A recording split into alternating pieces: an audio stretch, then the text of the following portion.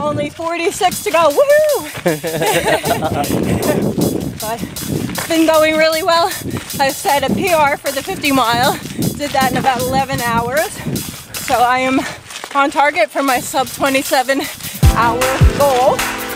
Maybe I can make it sub 26 hours, but that might be reaching a little too far. But I'm having a great day. The weather's delightful.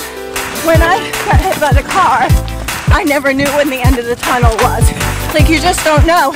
You don't know if you'll have to do multiple more surgeries. You don't know if you won't even get better.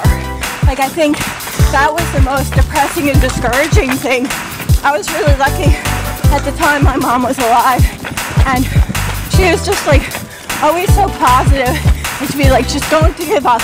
Just do what they say in physical therapy and just believe. And I think that that really, like she believed in me. And I think at the time I was really depressed. But now, if I got another injury or something, I'd be kind of, I'd be very sad. But I totally volunteer for these events because you get a lot of energy from volunteering. I had about a year of physical therapy, hardcore physical therapy. like three or four times a week, and occupational therapy. Like doing regular lifestyle stuff was challenging. Slowly but surely, I recovered, and six years ago was my first marathon. That was Marine Corps marathon, and that went pretty well. I finished in five hours, 15 minutes,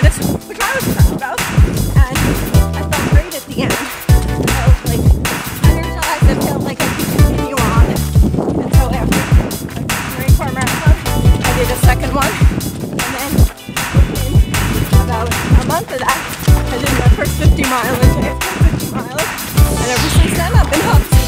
It's a 62.5 and I am feeling great. I'm feeling happy, I'm feeling strong, I'm just having a great day. I can't complain. I'm feeling I'm so lucky to be out here, so Super. I mean you were out there in the beautiful sun and wonderful temperature. And I'm currently an hour faster than I was Awesome. Hey, Tony. Hey there, Peter. How are you doing? I'm doing wonderful. I'm doing wonderful as well. Thank you. Thank you so much for facing me. You're and welcome. for All right. me.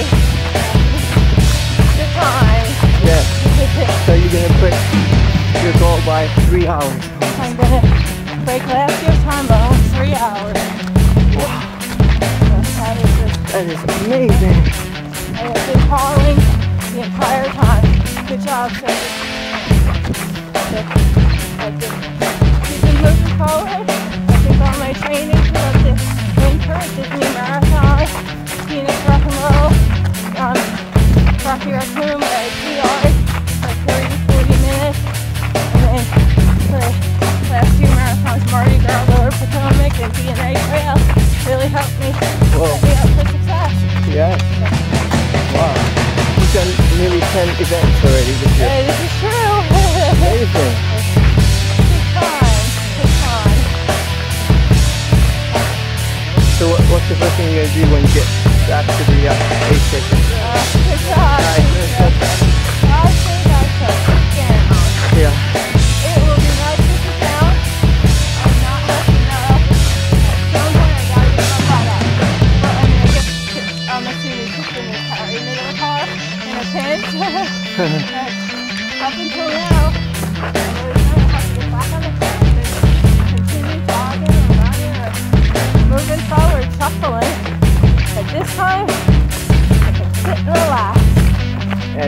Gonna order? I'm gonna order an omelet. It's the best omelet ever. Wow. I'm excited about it. I can almost taste it now because I got skunky breath I haven't brushed my teeth in like 26, 27 hours now. Oh well. I'm sorry, dentist out there. How has it been throughout the course physically? Huh?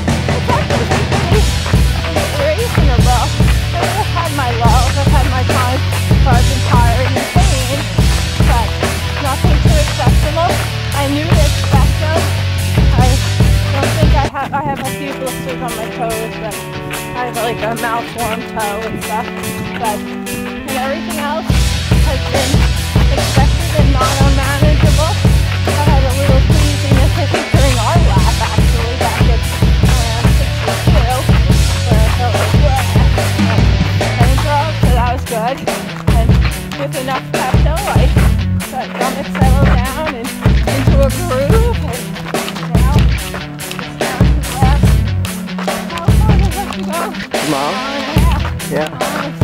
How about mentally? I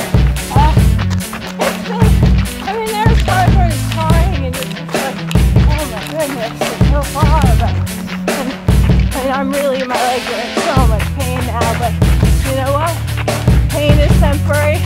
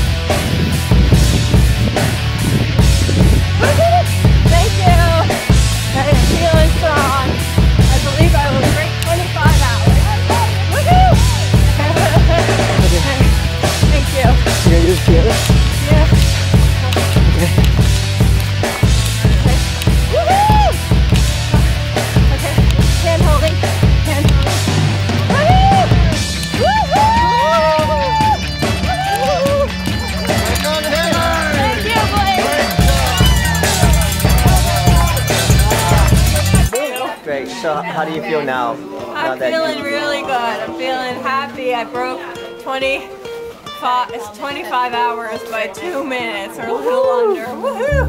And I am feeling refreshed, filled, and just savoring my victory with my friends. My friend Paula. I'm not sure I know your name. Chris.